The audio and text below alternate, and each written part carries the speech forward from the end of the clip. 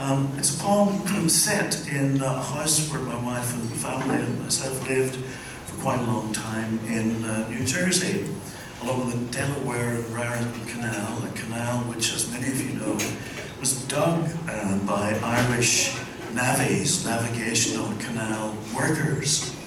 Many of them, I, I suppose, I'm sure actually, uh, speaking Irish.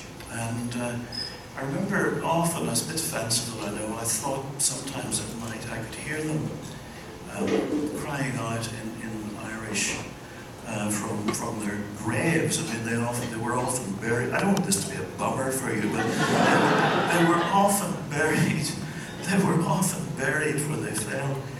In any case, this house that we lived in was built in 1750, and like many a house built in that era, the walls were, uh, the plaster contained a huge amount of horse hair. So there were times indeed when you, it was almost as if one was inside a horse. So this, which is lovely, it's not bad. Um, at least, uh, so this is a poem about a series of sensations through a hole in a wall, right? Um, I mean, it was set off by that extraordinary urge that so many have, uh, which I, I, don't, I don't quite understand. It has to do with something called home improvements. But in any case, um, so there's a series of sensations through a hole in the wall. Well, listen, here's the big question. You can say yay or nay. Are you up for a little quote unquote audience participation? Or, I'm so pleased to hear that. You guys are great. I, I thought for a long time audience participation went out in about 1969. But in any case, uh, so here's, we have a, a little, um, a little, um, what do we say, refrain. And the model for the refrain is this. Let me just give it to you once and then we run through it. I said a model for it. Let's hear it. With a pink and a pink and a pinky is the model. Should we do it on three? One, two, three. With a pink and a pink and a pinky pick. Pinky pick. So there's some very pinky pick. So there's yes weird. So there's some version of that each time. We'll embark on this and then we'll we'll enjoy the rest of the evening.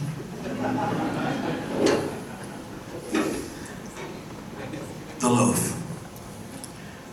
When I put my finger to the hole, they've cut for a dimmer switch in a wall of plaster stiffened with horse hair.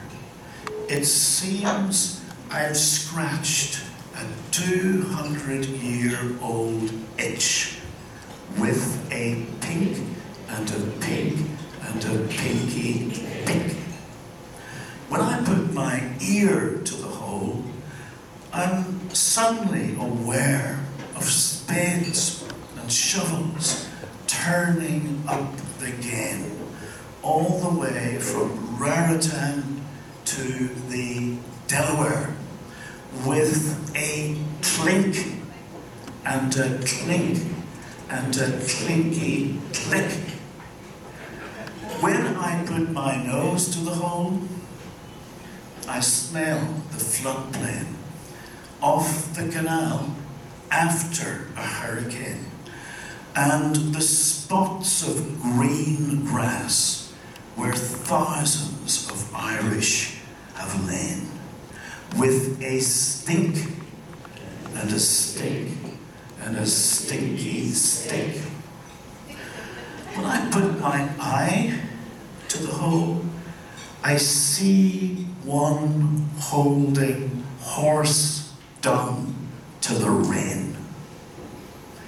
In the hope, indeed, indeed, of washing out a few whole ears of grain with a wink and a wink and a winky wink.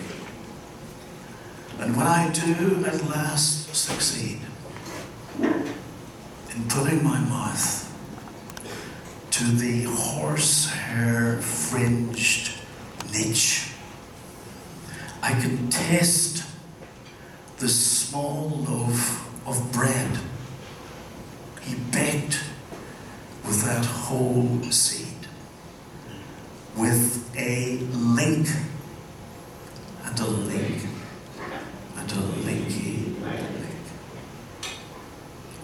you so much.